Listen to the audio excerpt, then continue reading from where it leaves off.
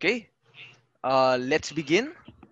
All right. Hi, everyone, and welcome to Conversations with Traders episode 11. So, guys, sorry last week uh, wala akong na-release na CWT kasi nagkasakit nga ako doon, nagka-food poisoning ako, siomay. Hindi ko na sabihin saan galing, pero yun, medyo namalas. And today, I'm with um, a very special guest. I'm with Sir AJ Alipante. So, quick background lang paano ko yung magkakilala, nagkakilala ni AJ. Actually, uh, nag-usap lang kami sa Investa chat. Ganoon kami nagkakilala.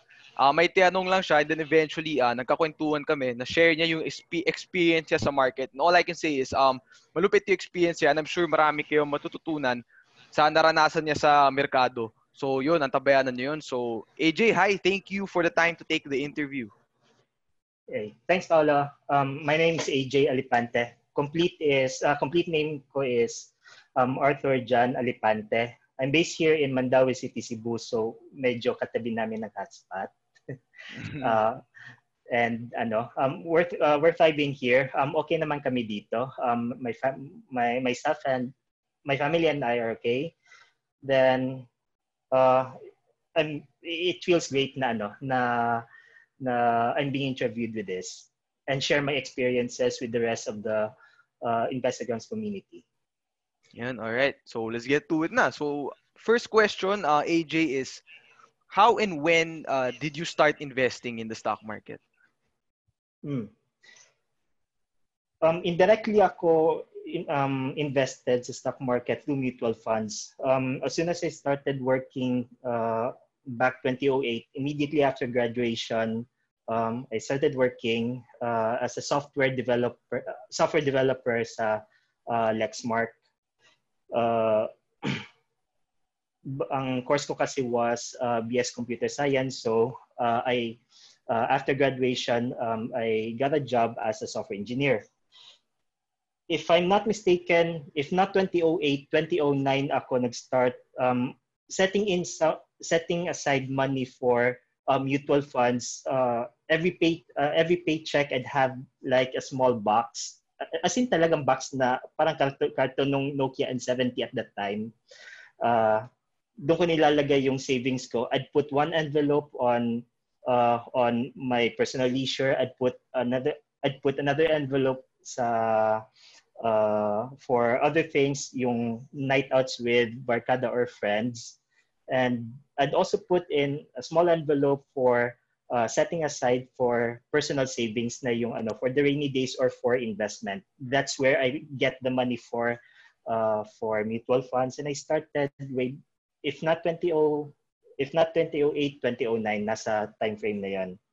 Then I know for a fact na gusto ko pumasok ng stock uh, ng stock market. Uh, that's why I started with mutual funds kasi hindi ko pa alam kung ano yung uh, ang talagang play uh, with the stock market. So, I think a year or two has passed. Mga, if I'm not mistaken, year 2010, nag-start na ako. Bukas na ako ng uh, call account uh, with a minimum uh, investment amount na nire- nire-require niya. And actually, at that time, it wasn't even called financial. It was still called uh, CitySec Online. So medyo medyo may tenure na ako as ano um as a trader but uh yun yung ano yun yung pinaka the very beginnings of my ano uh, of when I started uh, investing. Mm-hmm. So that was ano no parang kung 2008 may mutual fund na so almost uh, tama 12 years ago. Ilan taon ka nun? Estudyante ka pa ba nun? Ay hindi na. Uh, ni, uh, graduate. Gradu- grad- graduated na ako. fresh grad, no? Kasi fresh kung 12 grad. years ago, medyo matagal na yun. so, ano naman, AJ, so you've been actually yun, 12 years ka na sa market, more than, or yung nag-trade ka 2010, no? so halos isang dekada na. Uh, share mo naman yung experience mo, yung napag-usapan natin sa chat sa community. mm, yung ano kasi, yung uh, I started trading uh, during that time, 20 um 2010 uh, around that year uh, even at that time, I start um uh, I started playing the stock market. I still wasn't really aware kung anong ginagawa ko. I mean, like I'd put a, uh, I'd put my money on a specific stock, um, Aboitiz Power or Aboitiz Equity or Meralco or something something similar at that time. pero hindi ko hindi ko kasi alam kung ano yung basis ko for buying those stock uh, buying those stocks kung kailan ba talaga ano yung issues na na makakapagpaakyat sa prices nito mga ano nito mga companies na to during that during those times so I got in um uh, I wanted to get a taste of what it is in the stock market so yun yung ano yun yung uh, in the very beginning of uh, yun yung pinaka ano yun yung parang pinaka first taste ko nung uh, market so um, I was making trades na ano uh, na mali-mali. Um, quite frankly, quite, quite frankly saying, uh, mali-mali yung trades ko. Why? Um, I remember placing a bet uh, on Aboitiz Power. Uh, and at that time, my charts are right. Nung time na yun, it was even trading at around 3 to 5 pesos. And you know what the prices of that stock uh, already is. Parang if you try to get back to the chart from that time ba na nag-start ako and uh, trying to see uh, kung magkano na yung prices niya ngayon, you'd probably ask me, why did you lose sa ganito na trade? Eh, parang halos straight line na to. Kung i-magnify ko yung, yung stock, para naman siya nakaganon na line eh. So it's like, um, I wasn't really, uh, I don't necessarily know what I was doing. Um, I know that the company is good, pero I have uh, I didn't have enough basis for me to buy uh, to buy the stock na umaakyat siya. Like there were times na pumasok ako na 2%, 3% up for a few days. Tapos nung pumasok ako, that's when it, uh, the stock was starting to correct. So parang sinasabi ko, malas pa ako. na pumasok ako dun sa stock na, na, na ganun. Kung kailan ako pumapasok, dun bumababa yung market. So it was fairly disappointing. Uh, fast forward a bit, I decided um, something's wrong. So ang ginawa ko, I tried to file a leave sa work ko and uh, for about a week. Then nag-enroll ako dun sa sa fundamental and technical analysis na hin, na hinuhost ni ano ni Citysec online. During that time, hinuhold lang talaga nila yung mga sessions nila in Manila. So I'm for, um, by the way, um, I forgot to mention that I'm, uh, yeah, I think I did mention kanina that I'm from Cebu. So I had to fly uh, for about a week uh, to Manila. Tapos yung uh, time kasi na yon, uh, they hold the technical sessions for two days and the fundamental uh, analysis for just one day. Uh, the, the people doing the seminars were April Lintan for the fundamentals and si uh, Sir Juanis Barredo by sa technicals and I think they're still the ones doing this uh, talks even until today. In other words, I met them in person and power talaga itong mga tao na to. Um, people that I really look up to um, whenever I look at my screen here. I look at you, um, uh, I look at you, uh, Paulo, for ano, during your your weekly uh, charting sessions. I also look at JC's and Berrios. Pero aside from that, tinitingnan ko, uh, pinapanood ko rin ko ano yung mga videos na ina-upload ni Miss April and also ni uh, Sir Juanis whenever I get uh, whenever I get to see the chance. So I went there. I went sa um, I went sa Manila for I went to Manila uh, so that I'd get the education that I need. Tapos after noon, oh, by the way, konting shout out na lang. Uh, thank you to my auntie, uh, to my auntie Linda and also to my cousins Totoy and uh, Totoy and Tin for letting me stay sa bahay during those times. So, yun. After, um, at least at, uh, after the training, nagkaroon ako ng basis na kaya pala mali yung trades ko because I was buying the stock uh, kung kailan nasa ano na sila, kung kailan na exhaust na yung buying ano, yung yung buying momentum niya. So, uh, at least that explains na kung bakit bumababa yan, no? bumababa yung price when I get in and that it's not and it's not really a hypothetical situation na meron something wrong with myself being in the market. Tapos pag umalis ako umaakyat siya. Yung parang sinasabi lang ng parang sentiments ng other fellow traders natin ba na kung kung kailan ako pumasok uh, doon yata bumababa. Parang um, I think everyone, um, a lot of people have the same feeling. And that's basically uh, because uh, mali lang siguro yung pasok and nagkakaroon lang talaga ng ganitong circumstances. And dalawa lang naman kasi yan eh. It's either the market goes up or goes down. So it's always a 50-50 chance. Now, um, I remember, uh, I don't remember my trades na sa ano, during that time span na natapos ako dun sa training and I flew back to Cebu and uh, kung ano na yung mga pinasok ko ng mga trades. Pero what I remember was, at least I was already up by 30% sa portfolio ko. Then, uh, then after no ano, uh, after some time na parang tina-trade ko, malilit lang naman yung mga in, yung yung increments ko na ano ng uh, sa portfolio portfolio ko kasi I make mistakes on my trades pa rin. So it's either I cut my losses or try to um, to sell on strength. Basta he, um, it's three steps forward, two steps back. It happen it happens uh, it happens that way sa akin and sometimes mer baliktad yung nangyayari. Pero generally at least at least I'm already making a profit at the time. Now, there was there was a point in time, hindi ko lang maalala kung, uh, kung anong month and year, na pumasok si Traders Pizza. I'm not entirely sure kung nabutan mo ba si Traders Pizza or kahit sa anong kahit sa anong discussions yun ni JC. Ah, uh, naririnig ko lang siya. Siguro this is the third time narinig ko yung Traders Pizza. At di ko na talaga naabutan yun. Anong year to? Anong year na to? Mga 2010. 2010, 2010 2011, 2012, parang ganun. Okay, okay. Wala, di na nabutan yun. May forum kasi na ano, may forum kasi na uh, similar to what we see in Facebook ngayon na me, ngayon meron Traders Apprentice uh, Pilipinas. There's even um, we also have Investigrams community, both the FB site and the uh, uh, the platform that we have right now. Then meron nga ring Traders Info Exchange uh, Traders Info Exchange was actually organized, if I'm not mistaken, by by Sir Franco. I'm not sure if uh, that name ever crossed your ano, your hindi rin na.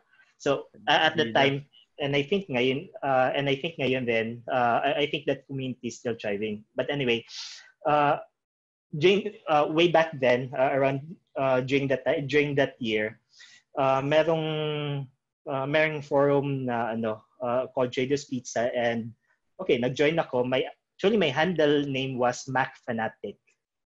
Uh, then nagpa-participate ako dun sa ano, nagpa-participate ako dun sa mga postings. I try to understand kung ano ba yung uh, kung ano ba talaga yung nangyayari sa market.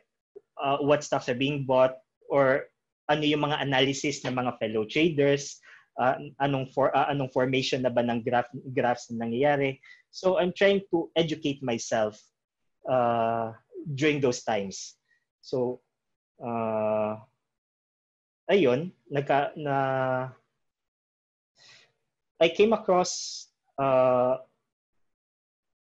I came across a post and also an invitation to attend a, a seminar about momentum stock trading by Andre Collado. Ferdinand Collado. Uh, definitely, the, uh, the, the name would ring a bell uh, to a lot of our seasoned traders. Uh, magaling magaling si Sir ano, magaling si Sir Andre with uh, momentum stock trading and nagkaroon siya ng seminar dito sa Cebu. There was even a, um, a point in time na nung na-meet ko siya personally and I and I attended this ano, I attended his seminars na um, uh, I also had that in me na gusto kong uh, gusto kong lapitan yung person uh, behind this ano behind this uh, dito, be, be, behind this um, yung parang gusto kong mapalapit uh, with the person who who's really great at ano who's really great with something. So in this case um, I want to defend the person who is ano um, uh, who is great with momentum stock trading. Kasi nakikita naman sa ano nakikita naman sa sa mga evidences na pinapakita niya he, he traded this and that. So yun yung mga sinasabi uh, yun yung mga sinasabi ni sir and they then tapos tinuruan niya tinuruan niya rin kami with uh, how to enter the market. Uh, doon ko rin nalaman na kung bakit nagkakaroon actually ng uh, kung paano kung paano ka makikipag-compete with um, buyers during sa pre-opening and paano ka rin makakalabas or paano ka rin makakabili uh, during the closing. So ayun yung parang tinuro niya kung paano yung uh, nangyayari doon. Tin, tin, uh, nagturo rin siya about uh, intraday retracements. Uh, I'm not even sure uh, I'm not sure kung nasa calculator natin yung ano yung uh, sa, na, nasa calculator nasa platform natin yung calculator na ano pivot table. So may tinuro rin siya sa amin na gano'n. So uh, uh, all in all, parang naidagdag ko yung ano, yung natutunan ko dun sa sa Manila with the call uh, with the CitySec na ano na training for both fundamental and technical analysis with that of momentum stock trading. Now, maganda 'yun, 'di ba? Kasi may natutunan ako na additional ang mahirap lang is I didn't mix uh, the concepts quite well na nasunog na, na dyan na nag-start na sunog yung ano ko, yung yung gains ko and eventually uh, yung portfolio ko to as much as maybe 80 to 90% of the value. And I didn't and I'm not talking about just the 25,000 na na initially na nilagay ko sa ano sa sa sa call account ko. Yung history pa nga noon is uh, medyo side ako ng konti sa ano sa sa work experiences ko para at least me- medyo may may perspective tayo no ano may perspective tayo nung uh, how much I uh, uh, how much I invested myself in stocks and at the same time uh, meron din naman ako meron akong full-time work na ano na parang nakakakonsensya rin kasi nagte-trade ako while working. so parang ano yun, parang that's bad, that's bad. Wag wag wag akong tutularan. Wag niyo akong tularan sa aking nakaraan na ano, naka, nakaraan na self. At that time, uh, when I was working ano, when I when I was working as a software engineer, um, I also had the chance to be a part-time professor sa alma mater ko, UP here in UP Cebu um, then uh, hindi naman siya hindi naman siya full time so at least I was able to to balance uh, those works.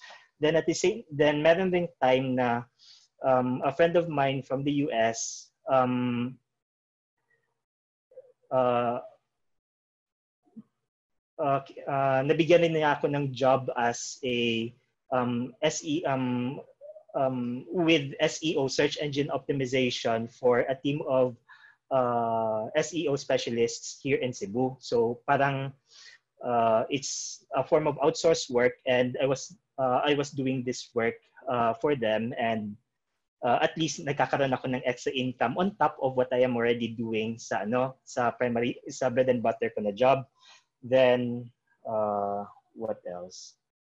Yeah, parang the setup was like that. So at least uh, I'm making more than I uh, I'm making more than what I am making sa ano sa sa primary job ko. So may uh, on top of that primary job, meron akong extra income so that I can invest more into this, um, into what I do sa stock market. So naglalagay ako sa mutual funds, kino-continue ko. And at the same time, uh, medyo it's partly addicting that I'm also putting more money dun sa ano, dun sa portfolio ko with uh, Citysec Online.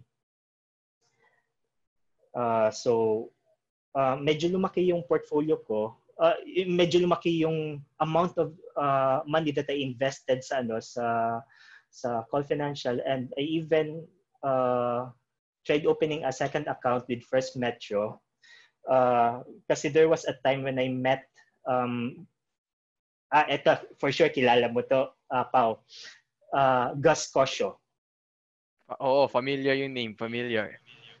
I met him in person. So, uh, uh, pero anyway, parang um, definitely nakikita mo siya dyan sa, ano, dyan sa Manila kasi taga dyan naman siya. Pero at least for, uh, uh, for people uh, outside of Metro Manila like me, um, it's a, ano, um, parang kahit ako na uh, definitely ako na starstruck ako sa mga ganyang klase meetup. So, okay, these are personalities that I look up to in this, uh, in this field. So, it's definitely an honor for me to uh, meet these people and knowing na hindi ko sila palagi nakita, that makes it, uh, that's even the spice there.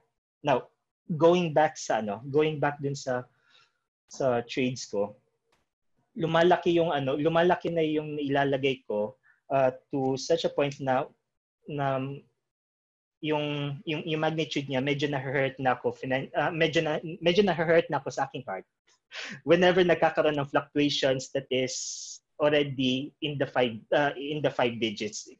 Medyo bearable pa minsan yung four digits in the thousands pero in the ten uh, tens of thousands medyo ano yun, medyo masakit-sakit na yun eh. So lumalaki siya and uh, I was getting invested with ano with uh, basura stocks. Uh, this is not to negate uh, this is not to give ano uh, yung parang uh, to label these stocks uh, with uh, with the wrongful ano with the wrongful uh, with the wrongful image but ito lang yung experiences ko in, in the past I was making money and also losing money um depende sa trades with Nihaw uh, LIHC I was even uh, I even tried with uh, I even tried uh, Manila Mining A, Manila Mining B. Uh, what else?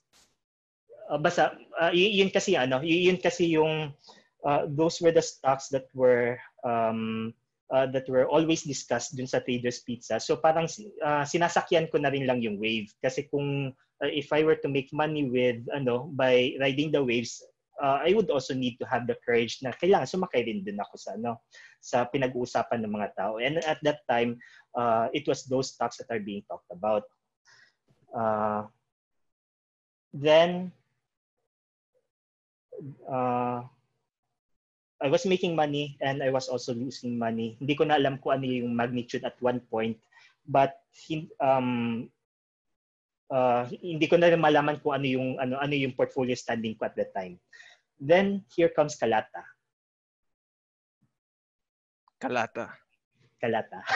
Ito yung part so, na kwento na di, ako, di ko na-expect to. So, ano nangyari? Ano nangyari doon? Yung sa Kalata kasi... Tsaka um, what, what year was this? Mga 2012, 2013 ba to?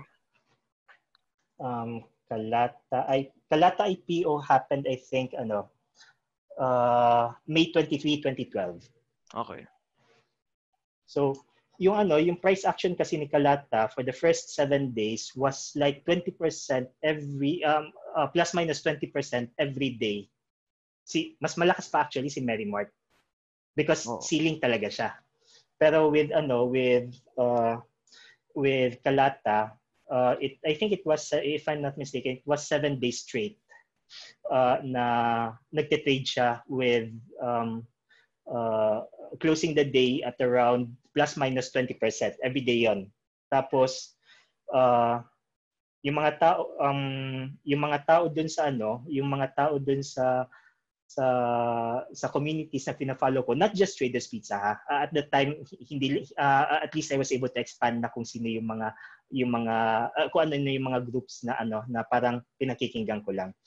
So uh, hot top hot topic. It was also as, as hot as ano as uh, Mary Mart nung time na yon and umakit yung price 20% every day for the uh, for seven consecutive days.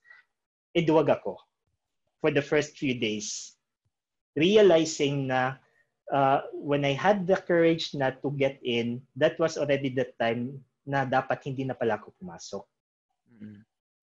uh, uh, the traders or uh, or seasoned traders siguro who uh, who successfully or unsuccess- unsuccessfully traded Kalata during those times uh, would know na nag-drop talaga yung ano yung yung yung stock and I think if I'm not even mistaken I even tried making a cut loss and trying to uh, catch back. a falling knife.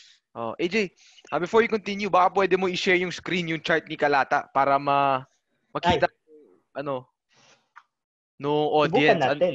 Oo. Kung ano yung itsura nung chart dati. Ako naalala ko, nakita ko once kasi na-trade siya, naalala ko back when I was starting out, na-trade, I was reading yung blog ni, ni JC, di ba, imbang klase. Tapos yun, na-trade niya si, si Kalata. Ang problem lang kay, I also tried, ah okay, nice. Um, ewan ko kung saan ko tiningnan yung ano, saan ko tiningnan yung uh, chart na parang wala na yung ano, wala na yung kalata before. Ah, mabuti nandito si Investa. Nice, nice. Let's see, let's see.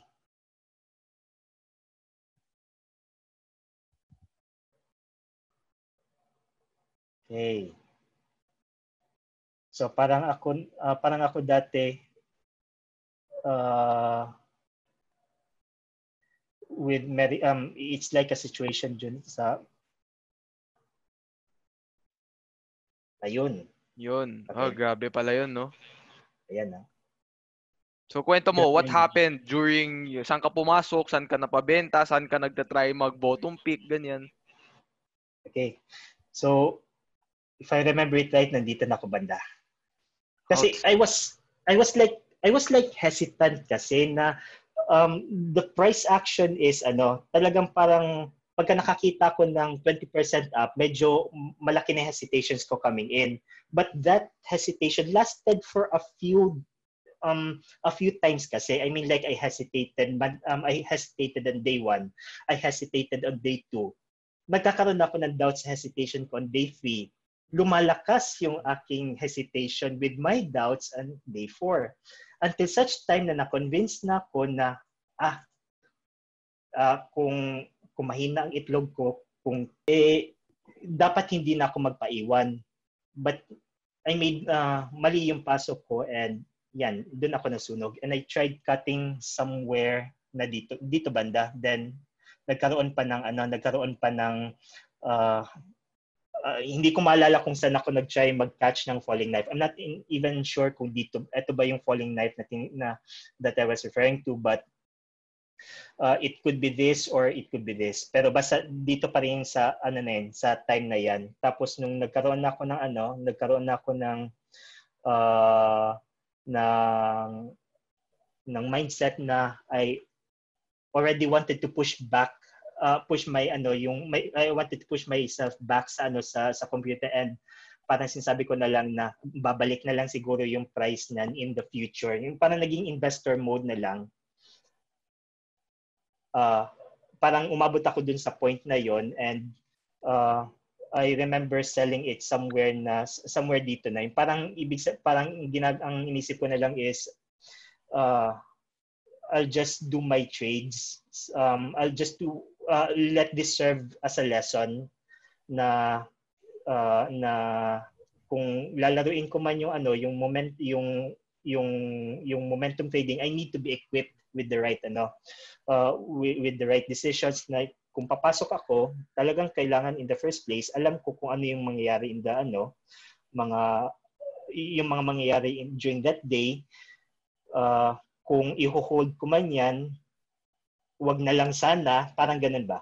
And um and kung uh, kung ayaw ko man pasukin uli yung yung yung yung ichuchupit ko yung stock within the day or kahit ano um i-spot ko lang yung momentum eh at least hindi ko siya uh, tawag dito um I would already stay away from that uh, practice kasi yun nga hindi ko uh, I don't necessarily know what I'm uh, I don't necessarily know uh, what I'm doing sa ganung mga situations. Not to mention, parang nag-all-in pa yata ako.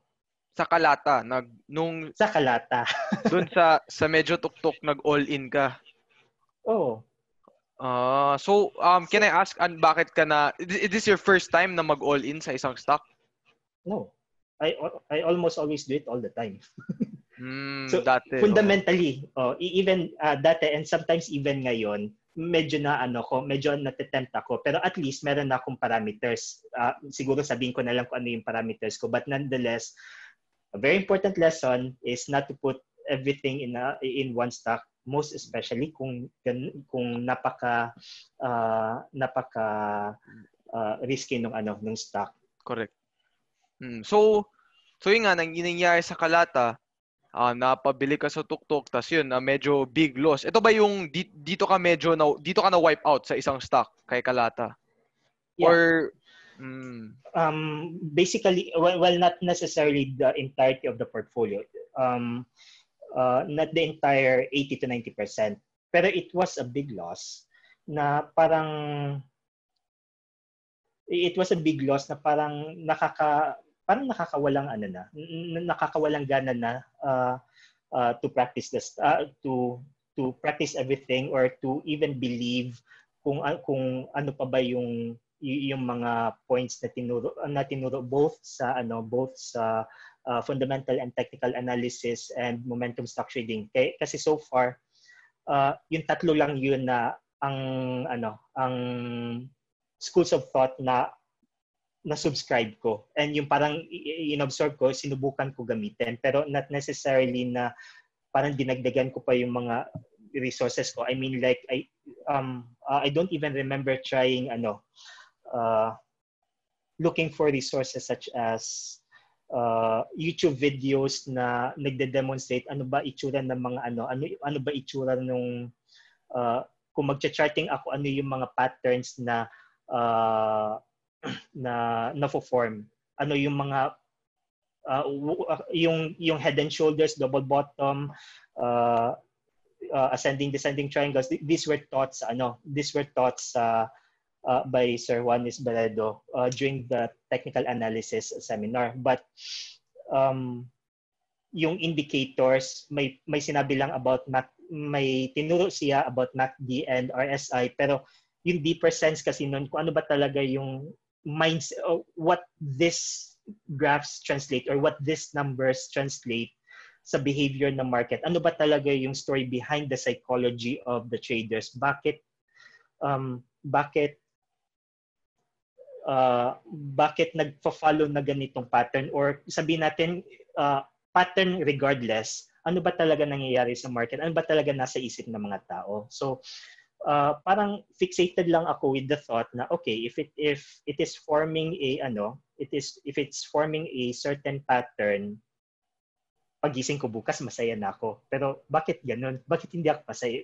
It's because hindi nangyari yung ano hindi nangyari yung ina-anticipate ko. So um coupling it with yung uh, yung yung experience ko with ano with uh, uh, with the stock talaga nakakapangina talaga ng loob. Uh, and to the point na uh, ayoko na. Parang uh, gusto ko na i-stop.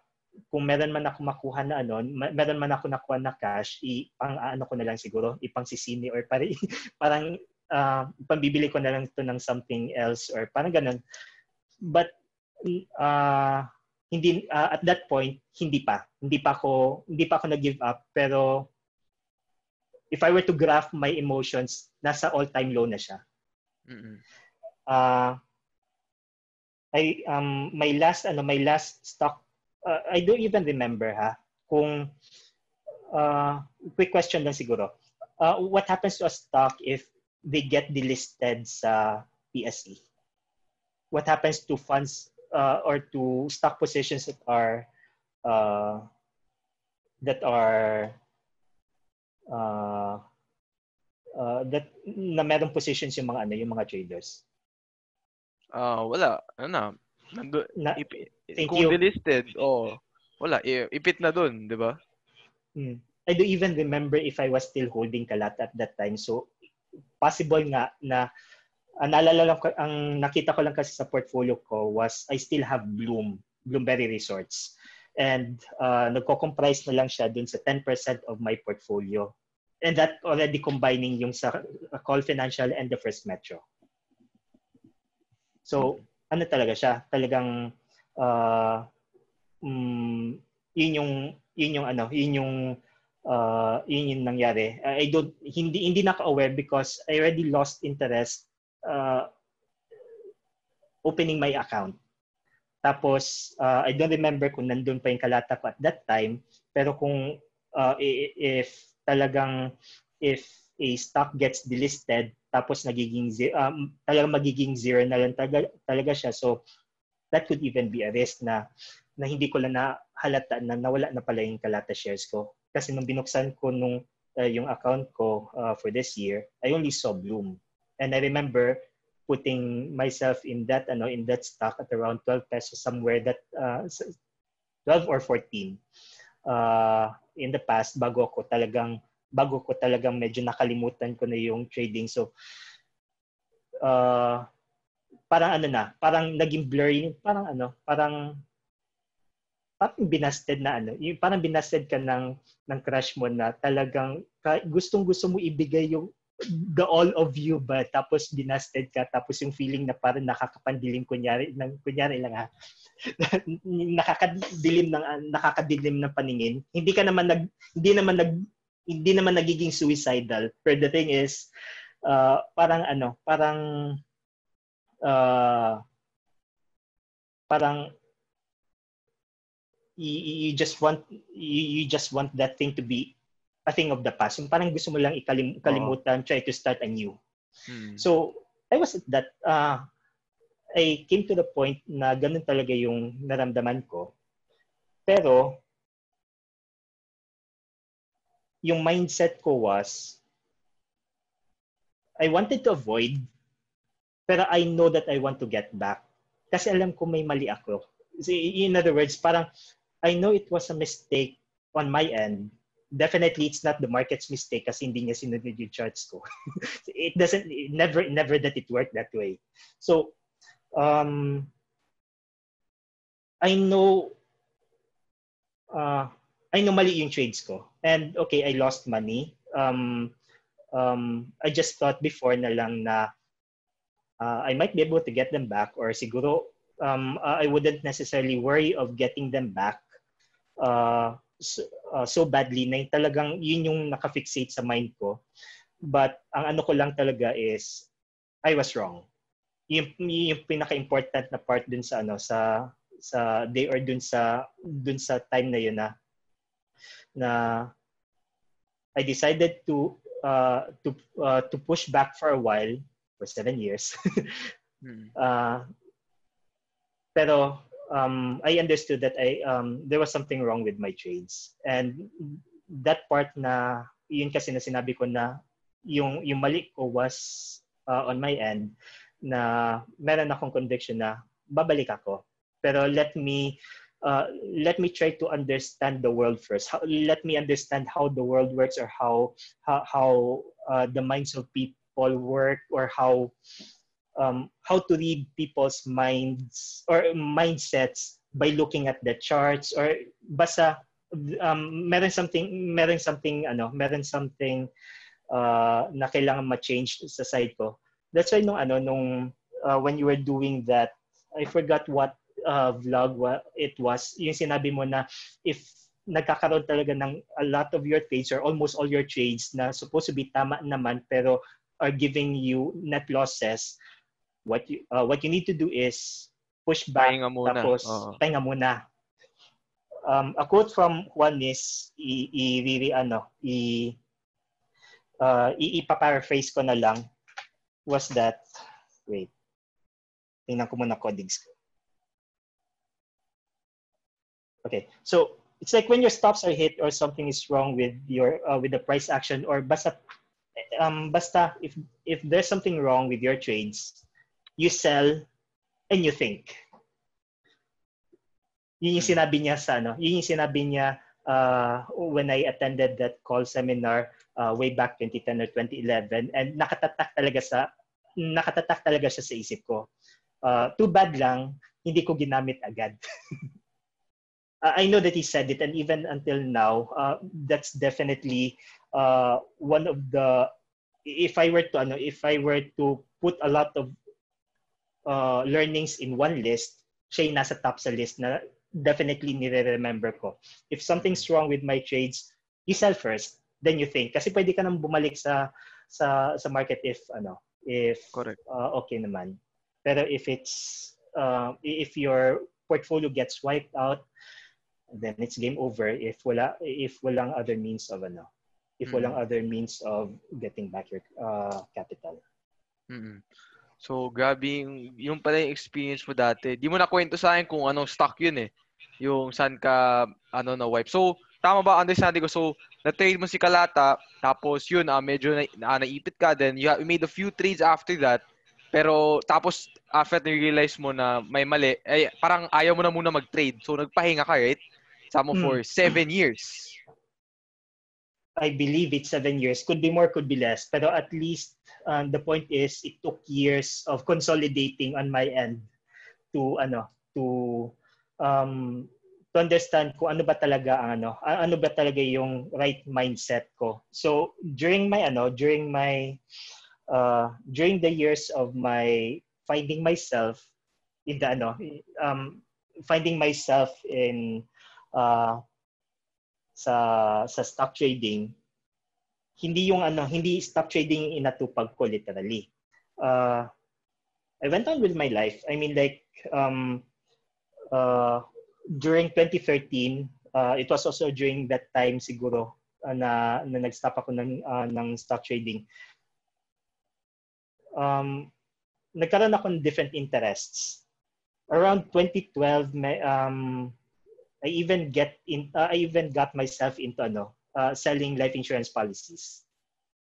Kasi on my end, um, uh, uh, on, yung sa life ko as a uh, as a person, meron ako mga things that I wanted to change uh, in terms of personality, in terms of how I look at things, in how in terms of how I uh, interact with people. Uh, may mga may mga ano, may mga qualities ako na gusto ko sana ma-change. So I decided na uh, I, want, I, I want to know how to interact with people. So I got into sales and I got into sales with, um, with selling life insurance uh, policies at the time. Uh, meron rin time na uh, I wanted to attend mga personality development seminars para mga ganon. Uh, I even wanted to try to go into acting. Uh, yung hindi ko lang siguro dinner is yung singing kasi alam ko na uh, pagka kumanta ko, definitely, uh, definitely uulan. so, um, uh, pan aside, basta uh, I was uh, I was doing so, uh, I was figuratively and literally doing some soul searching na kung paano yung parang I was trying to find myself in a way na okay I got into I got into different brackets if you may if you may term it I also um, I also founded our um, yung yung business ko uh, with um, with a few people. Uh, the name of the company at that time was Spring Events and uh, Productions Group Incorporated. Uh, we handled a um, a a city level pageant dito sa ano dito sa place namin.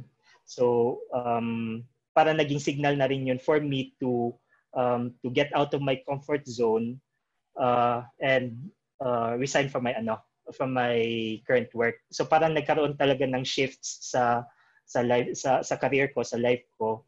Um, in as much as trading was um, was a uh, was there and I got out, uh, nagkaroon din ng time na, um, that I also got out from my work because I had to um, I had to take a leap of faith. And from the looks of it, uh, at that time, I would even say that, that it was a stupid move. Kasi I had a work uh, who uh, who pays me uh, who pays me okay. Um, uh, I get to set aside money for different things that I need and want.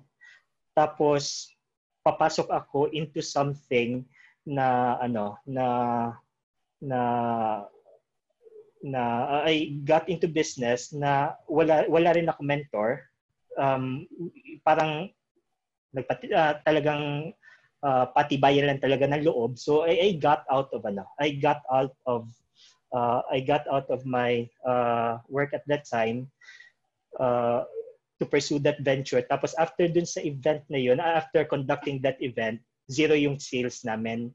Uh, wala na, hindi na nasundan yung event na yon. Pero fortunately, um, during that time, I was also able to get a work, uh, work, uh, home-based na work Uh, then sa gabi ako nag ano, sa gabi ako nagre-report kasi US time siya na ano na uh, US time yung work ko na yon. So at the time, parang nasasabi ko na in as much as ano, in as much as I made a bold move to get out of my comfort zone and uh, and take a leap of faith, uh, happy na rin ako sa situation na nung nagkaroon ng uh, na after dun sa event, uh, after dun sa project na yung uh, tinake care namin, uh, nagkaroon naman ng opportunity for me to uh, to start anew.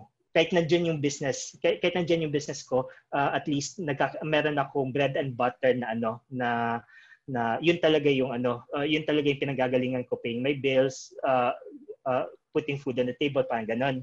So uh, that went on and from 2013 until last year of October. And at the same time, yung uh, yung business venture ko, uh, after a few years na talagang zero yung sales namin, uh, in as much as parang isasara ko na yung company para hindi, uh, hindi naman siya nagkakaroon ng malaking expense because yung headquarters is just dito lang sa ano, dito lang sa uh, yung registered address is dito sa bahay. Wala naman kami binabayaran na tao. It was it's practically parang ano lang, parang uh, kumbaga para siyang uh, subscription lang to a to an entertainment service. Kunyari or like a Netflix or cable subscription na medyo malaki-laki lang yung premium uh, for an entire year because I need to pay the taxes for uh, for the permits. Pero at least the business entity is there. But I do not know where uh, what my what my next big thing or what my next thing will be. Nandyan lang siya.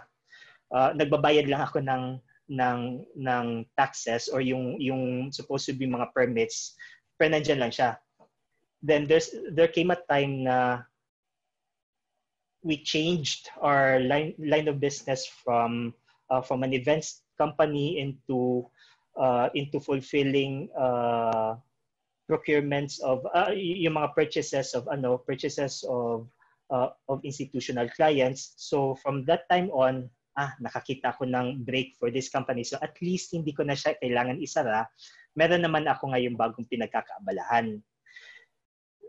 That uh, yung yung yung company namin is an as in, is an important part kasi of ano uh, of my life kasi diyan, ko kasi nakita yung ano, diyan ko kasi nakita uh, uh, along with other experiences pero malaki kasi yung part ng uh, malaki kasi yung role niya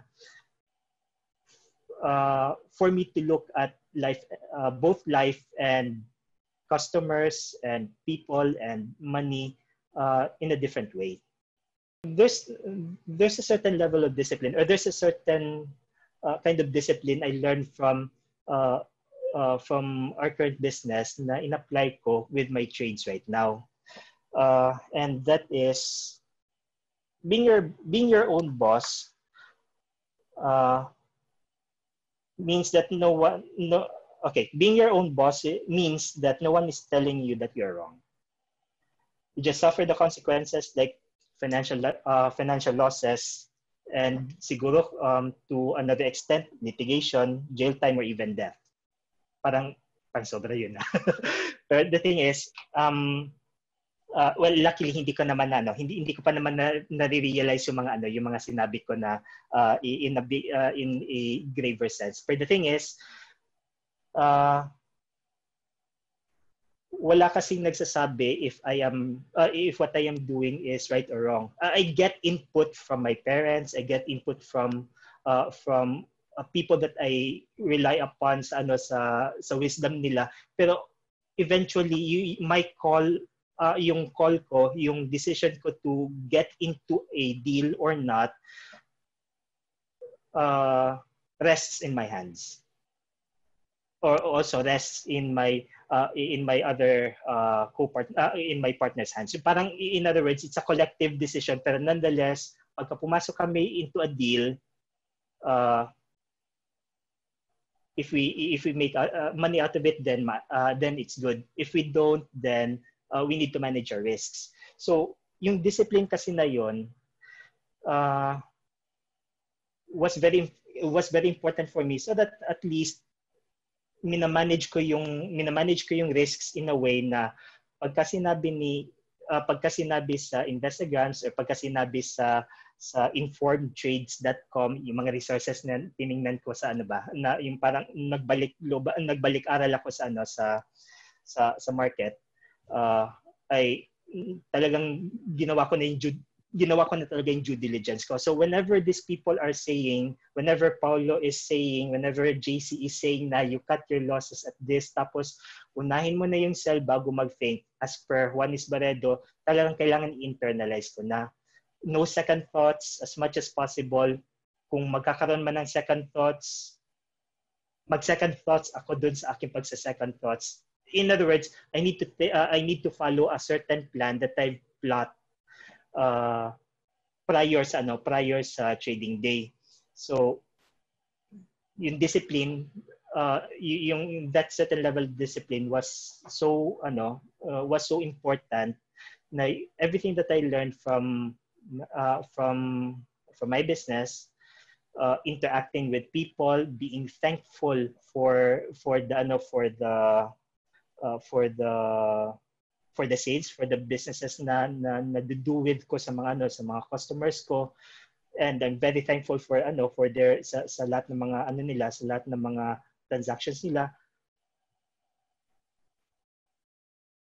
Kailangan ano, uh, yung yung discipline in yung the supporting that discipline na ano na talagang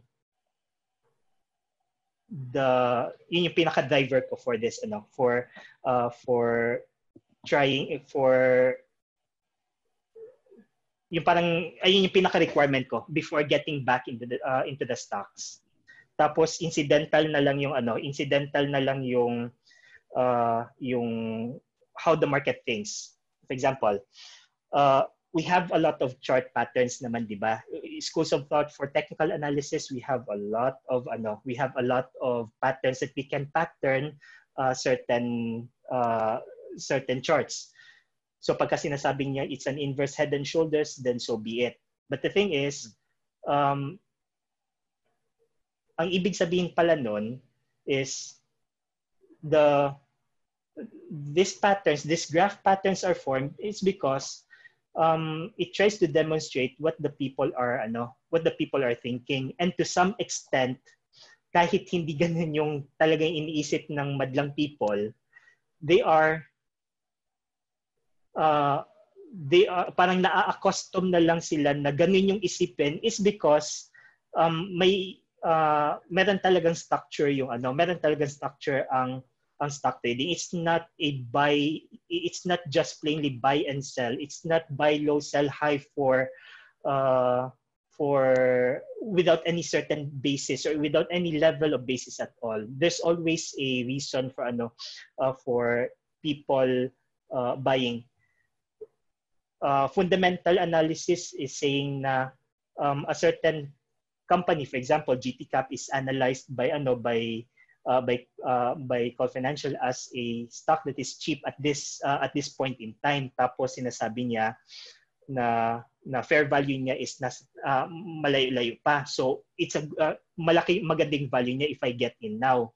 Pero bakit nag bakit ang bakit laggard yung ano bakit laggard si GT Cap uh, for uh, for ano for, for the past days for the past weeks. Tapos nagkaroon lang ng spike nung June eh doon lang talaga siya umakyat ng uh, ng malakihan. Pero the thing is uh, the um, fundamental analysis is there. Pero kung hindi rin naman talaga nagkaka-interest yung mga tao to buy it um, to buy it at whatever price uh, the market is selling it on eh talagang hindi naman talaga gagalaw ang stock. So parang uh, yun yung uh, naalala ko sinabi rin ni JC yun uh, either to a uh, either in dun sa summit or sa ano natin sa sa sa isa sa mga vlogs.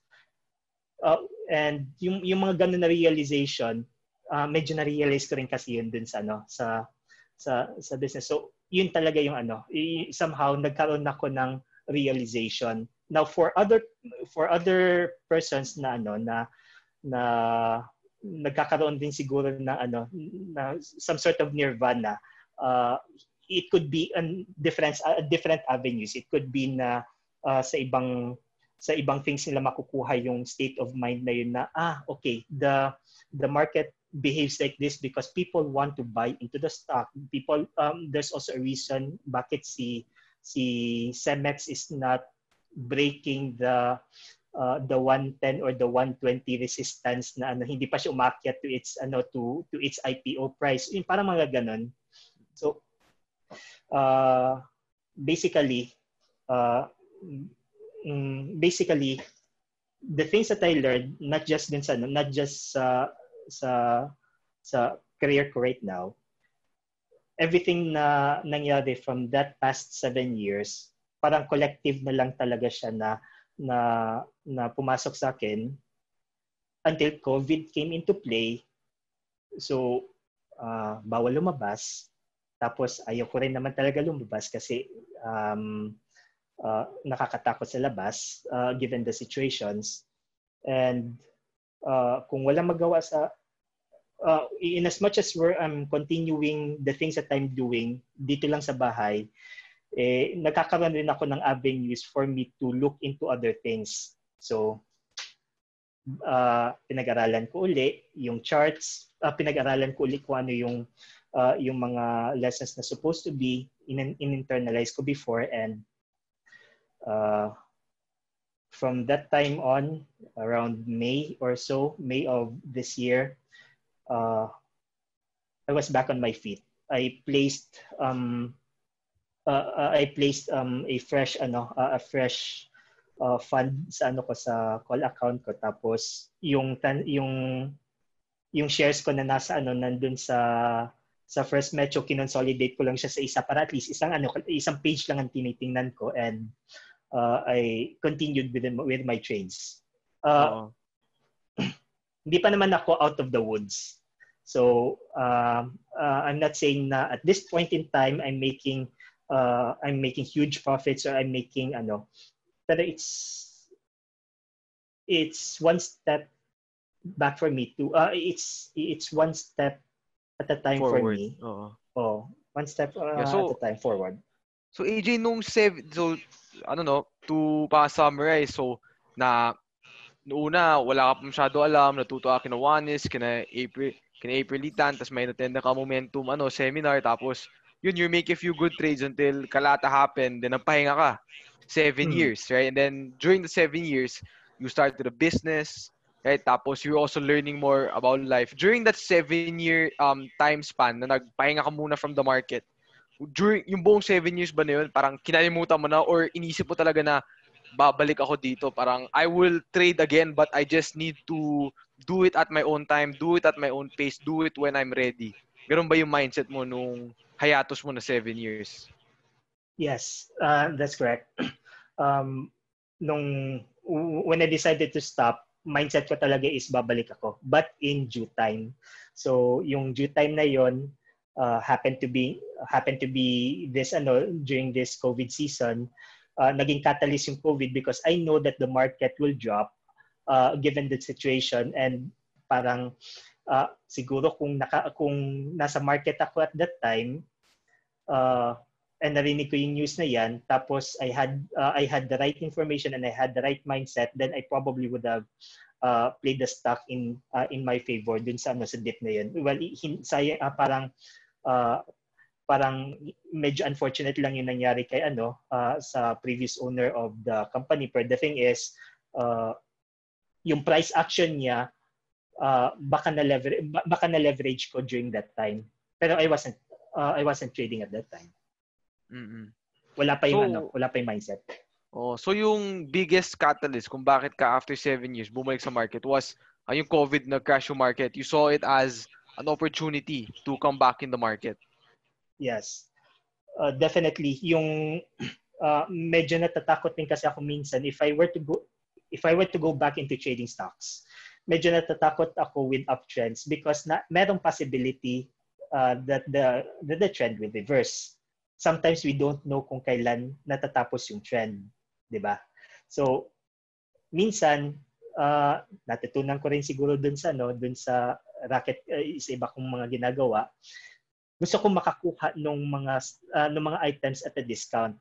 And in the world of stocks, the discount happens when there's a shakeout as big as this. And this is a black swan na shakeout na nangyayari. So, uh, nagkaroon, uh, nagkaroon ako ng, uh, nagkaroon ng event, nagkaroon ng catalyst, tapos at the same time, nagkaroon ako ng oras na panoorin yung mga video sa YouTube na, okay, uh, medyo tamad ako magbasa, uh, quite honestly, pero ang ginagawa ko na lang is, uh, uh, I watch YouTube videos instead. So, pinanood ko yung series ni I forgot uh, kung sino yung ano yung kung sino yung gumawa ng videos na yan.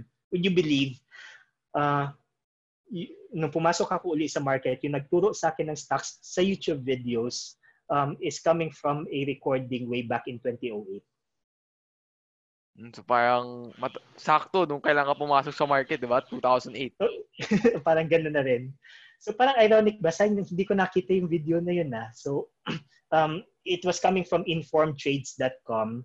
Uh, medyo, uh, yung production value niya is medyo uh, medyo uminom ka na lang ng kape para at least masustain mo yung yung 20 or 30 videos na nasa nasa playlist niya.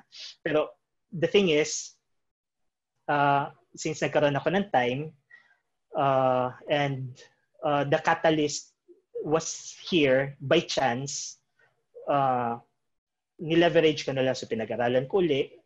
Uh, ano ba yung mga na-miss out ko. Tapos, pinas, uh, pinanood ko na rin yung mga videos no ano uh, sa sa call. Uh, I mean like I asked I even asked customer service kung meron ba silang ano, meron ba silang mga uh, training materials na na pre-recorded or kung meron ba silang upcoming na na mga webinars na sila Miss April or si Sir Juanis ang ano ang ang magdadalo mga magdadalo ng mga talks. So I, I even reached them na I even asked them na kung meron ba silang mga ganitong seminars. So sabi daw wala, pero meron recording si si Javi. Mm-hmm.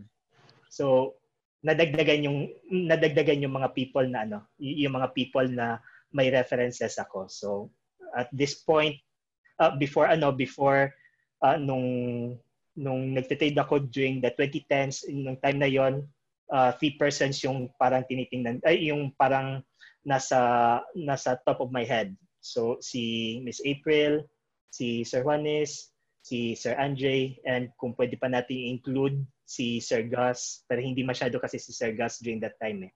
Uh, nakita ko lang siya personally but I never um, um, hindi ko nakita yung mga analyses niya.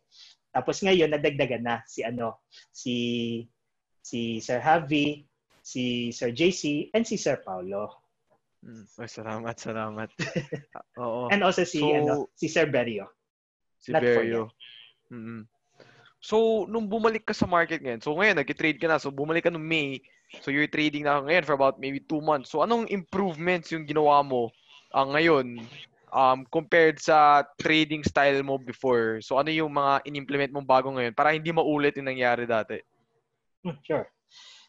Uh, this is not to discredit IPOs ha, pero yung mindset ko this time uh, is uh, with IPOs is talagang ano uh, stay back ako kahit umakyat si uh, the very recent case Mary Mart kahit nung umaakyat siya nung uh, 50% every day for two days or uh, sorry for three days I think. Mm-hmm. so nung nagsisiling siya for uh, for a few days hindi hindi na masakit sa akin na hindi ako naka, hindi ako nakasakay. Uh, even at one point nung nag-usap kami nung cousin ko na uh, na he, she was asking me na ano if the Merrimart IPO would be a good ano would be a good deal.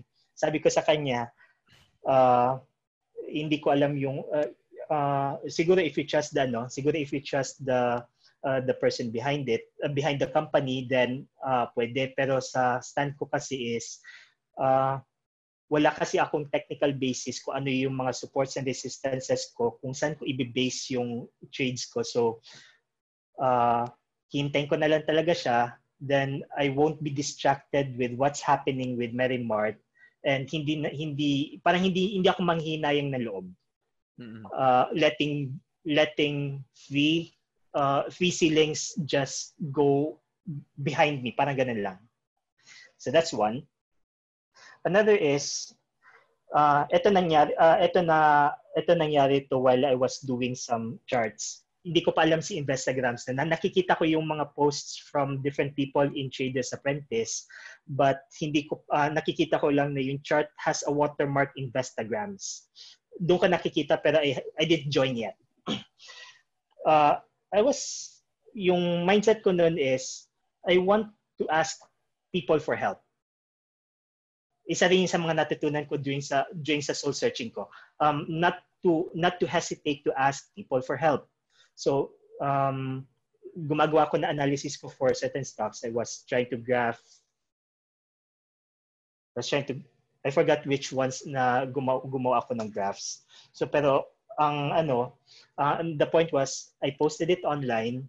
I asked, I humbly asked for people's opinion about ano, about din sa mga, sa, sa mga analysis ko. Then, I asked them kung uh, tama ba yung tama ba yung mga pinagsasabi ko dito sa analysis ko na to and after ano uh, after some time there would people na nagko-comment tapos there was even a time na okay I remember I remember charting Bloomberry and even to a point si ICT I saw some patterns doon na ano if not a falling if not a falling wedge a rising wedge. So parang nung time na yon there was one, I think it was George Tan.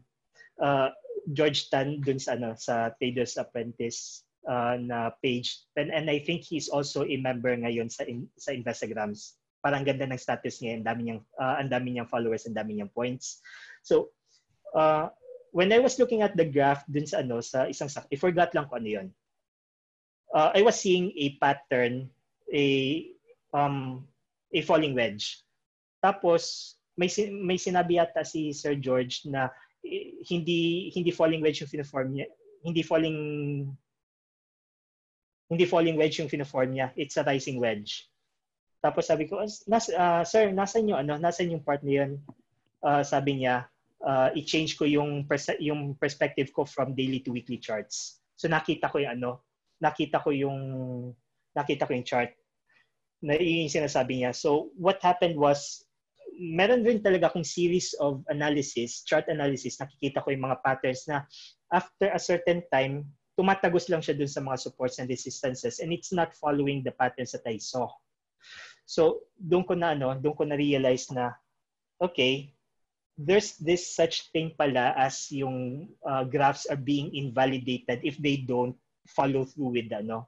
So, yung parang yung mindset ko na the books are telling me this, but si market pa rin talaga nasusunod. So that's one thing na na na na-learn ko ngayon. So uh, na, na-learn ko for the past few uh, for the past few months uh, when I got back into the trading na na definitely si market na masusunod. We can interpret the graphs as however we would want. Pero at the end of the day, ano talaga yung price action ni ano ni ni stock, yun talaga magpi-prevail. So walang some, uh, hindi naman necessarily completely incorrect yung ano ko, yung analysis ko. The charts just get invalidated. Parang ganun. Mm. So at least Or, hindi na ako nanghinaan ng loob. Oo, tama. Oh, so solid. So ngayon, eto, this is a very interesting question. So now that um na-experience mo na um na-experience mo na yung lows, right? Um the early career mo, na-experience mo yung um challenge para bumawi right, during the 70 hiatus and then now, uh, you're back, nag-trade ka na ulit, may mga improvements ka na na pinapasok ngayon, you're learning from a lot of new people. So, if you could tell uh, yourself, let's say you can speak to your younger self, yung, yung you mga 10 years ago, what would what advice would you give uh, to your younger self in regards to trading? Probably bibigyan probably bibigyan ko yung self ko ng link no ano nung YouTube video sa pinanood ko you know, 2008. recently. Oh. Oh, 2008 pa pala na nag-exist. Bakit, kaya, bakit kaya hindi ko nakita yun? I was probably I wasn't uh, I wasn't uh, more of a research person before. So uh, siguro ano lang talaga. Um, more of marami lang talaga akong things na na-learn uh, during that during that consolidation period. Mm-hmm. Not just not just about stocks or relating to stocks. Research, um, uh, research discipline, uh, parang combine sila lahat eh. Oo. Okay. Okay. So, what do you think ngayon? So, di ba, matagal kaya na sa market. Wala ako masyado nakakausap na kasing daming years na, no? Next na nasa market, tas nawala, tas bumalik. So, what do you think are the common misconceptions sa mga baguhan pa lang na pupasok sa stock market? Trading, in as much as it's easy to buy and sell with the click of a confirm button, or is as easy as setting aside um, kahit minimum or kahit minimum amount of 25,000 lang ni Call Financial or kung meron bang uh, brokers that are requiring about 100 or a million.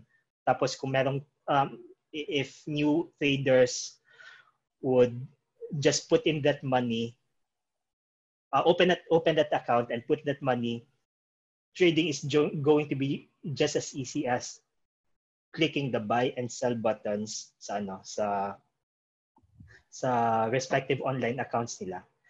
Uh, definitely a huge mis- misconception kasi yung uh, para rin siyang sports eh. Uh, you'd uh,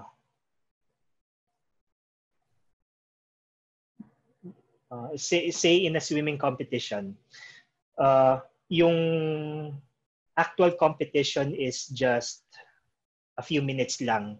Say you are competing against, uh, sabihin na lang natin, kunyari college. Say you are uh, competing with eight schools.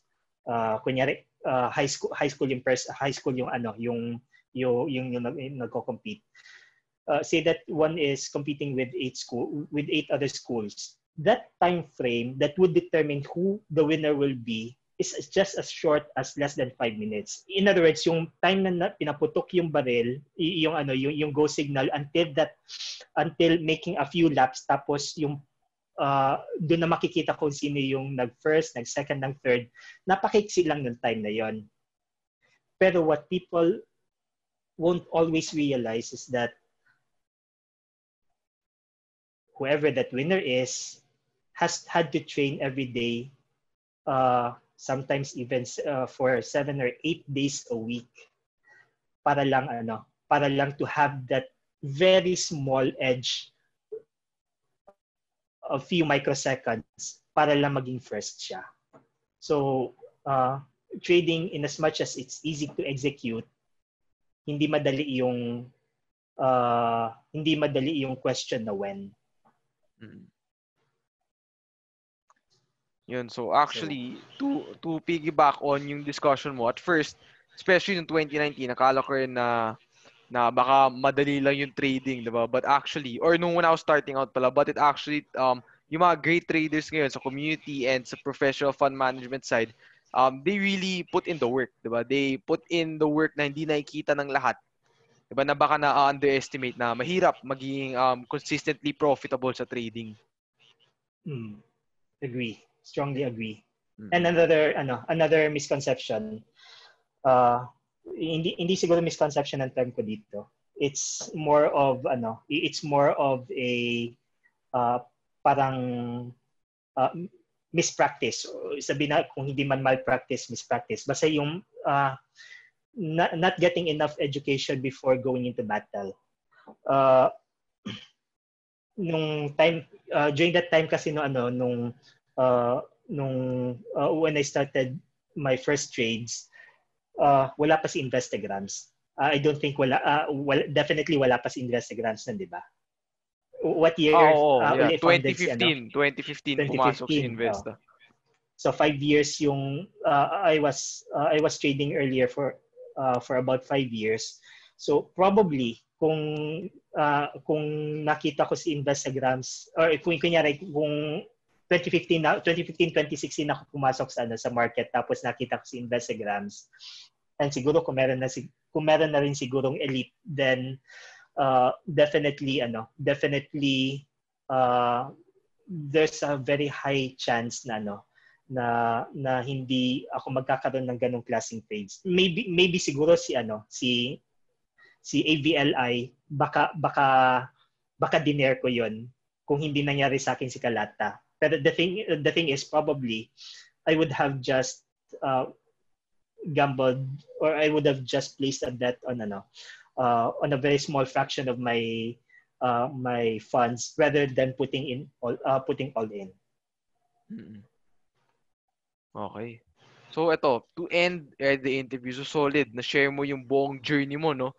Yung buong uh, how you discover the market, 'di ba? Your experiences and then yung paggawa mo ng business, mga natutunan mo doon and now you come back, ano na yung mga improvements sa ginawa mo, or what would you have t- told your younger self? Ito, this is a really uh, important question I think I have to ask you is, ano yung message mo?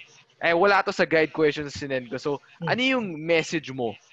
Right? For those na, let's say, yun, um, for the past years or maybe pa- recent times, especially no COVID, nung crash, um, naka-experience sa malaking loss. Tapos ngayon, medyo nababad trip, nalulungkot, but um, nawawala yung motivation to trade. What would be your, since you've been in their shoes, tapos even if it took a significant period of time, now you're back eh. Yun yung nakaka-inspire story mo na, no, even if um, mas, masakit yung na-experience mo, you came back at your own time, at your own pace, and now you're ready to try to diba, achieve profitability again. What would be your advice to those na parang nandun kung nasaan ka dati, what would be your advice? Paano sila makakabawi?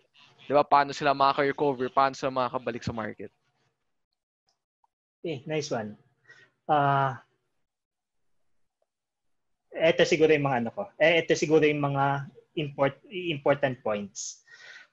Uh, first is don't um, don't be afraid to tell your uh, don't be afraid to uh, admit to yourself, admit to oneself na if a trade is wrong, uh, talaga mali uh, talagang mali lang talaga yung ano, mali lang talaga yung trade. You can't blame the market because the, the market is always right. We, we, definitely we can change the market.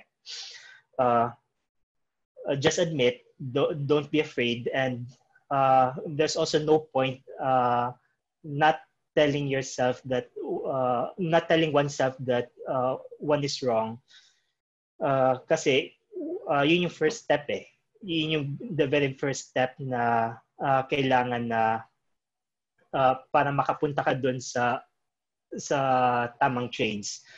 So, first part in realizing uh, in in uh, trying to correct yourself is first is uh, first is the admittance of the fault or uh, ma-admit mo lang na ano na na mali lang talaga yung trade it's not the end of the world but it's just that that trade malit lang naman yan. Yung yung uh, the trade is wrong so uh, so I was wrong. So yun yung yun yung ano yun yung first na uh, the very important. Tapos um, from that point let it go na na nagkamali na move on. Na uh, wag wag uh, no need to dwell on it. Basta the fact na na-admit na, okay, na friends na kayo sa iyong self, uh, shake your shake your left hand with your right hand then uh, move on with ano with uh, trying to recover that ano try to recover that loss or kung hindi man loss nasa tuktok na yung GT Cup for example hindi pa rin ako nagbenta uh, tapos hinintay ko pa siya na bumaba na bumaba. So even if it's still an upside tapos medyo nasasamaan pa rin ng loob dun sa that part na ano na sayang profits na sana naging lesson pa.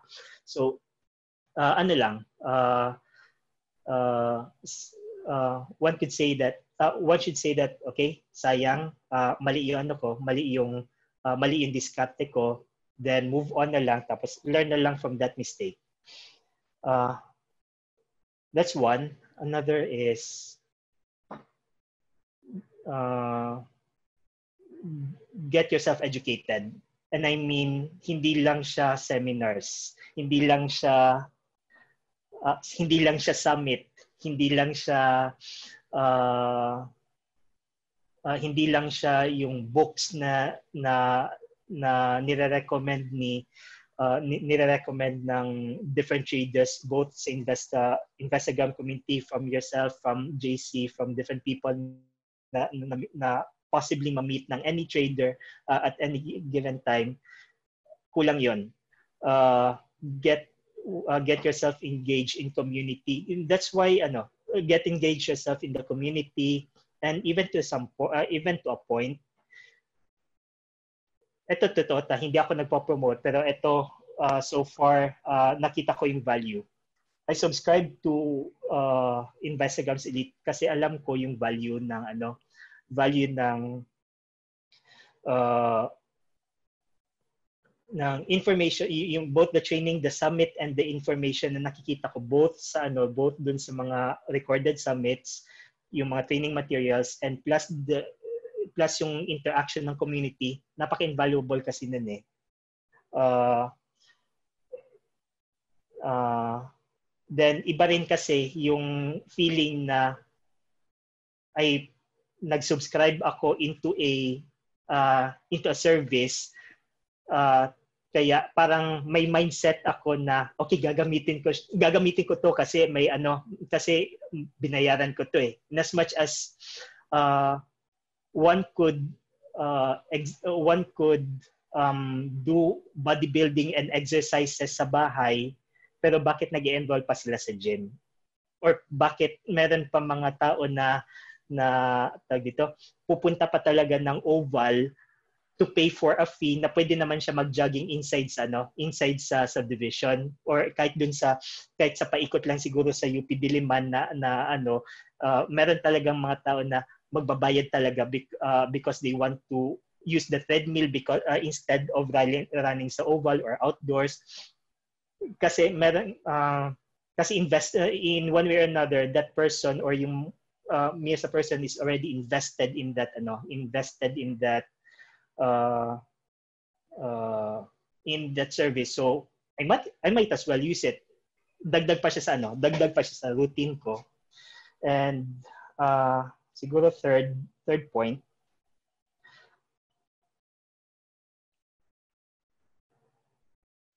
make it uh, make it a habit na pag-aralan yung trades before the day, before the trading day starts. It could be before sa ano before sa uh, before sa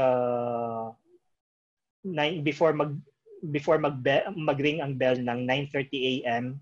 So due diligence or it could be as early as 10 p.m. sa gabi uh, prior to the next trading day. Iyon yung ginagawa ko so far sa ano sa sa sa mga trades ko since I started. Um, I actually wanted na ano uh, gusto ko nga sana gumawa ng vlog na may may 10 p.m. due diligence or may 10 p.m. daily habit. Parang ganun ba? Na in as much as hindi ko hindi pa ako master with ano with the uh, with, with the chartings and how I look at the market or ano ba talaga yung nakikita ko sa market, I might as well document it in a uh, in a video conversation na lang na ano na na this is what I think of the uh, market happened today.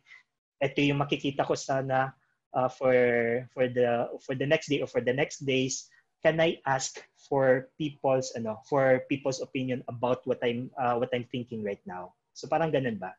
Mm-hmm. unfortunately wala akong hindi hindi hindi natuloy yung ano hindi natuloy yung vlog. But the thing is uh, at the um ginagawa ko na yung due diligence ko um, every day or at least 10 p.m. or basta sa gabi prior to the trading day kung ma-miss out ko man yon at least uh, yung prior days, uh, nagka, meron ako mindset na, okay, uh, I'm, ito yung mga stocks na alam ko pupunta sa support because uh, nagko-consolidate si PSC at this moment. So kung nagko-consolidate siya, most of, uh, most of the blue chip stocks will go down along with it.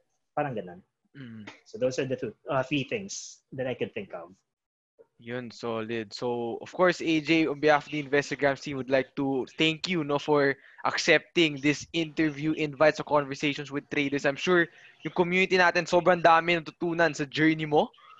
Right? And meron ka bang final final message uh, gusto i-share sa Investigrams community before I let you go? Ano lang siguro.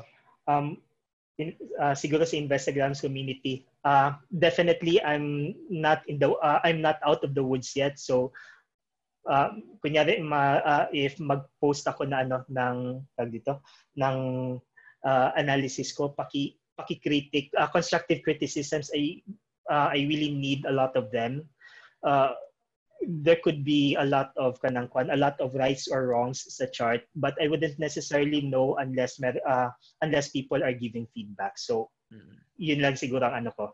Uh, let's both share what we know.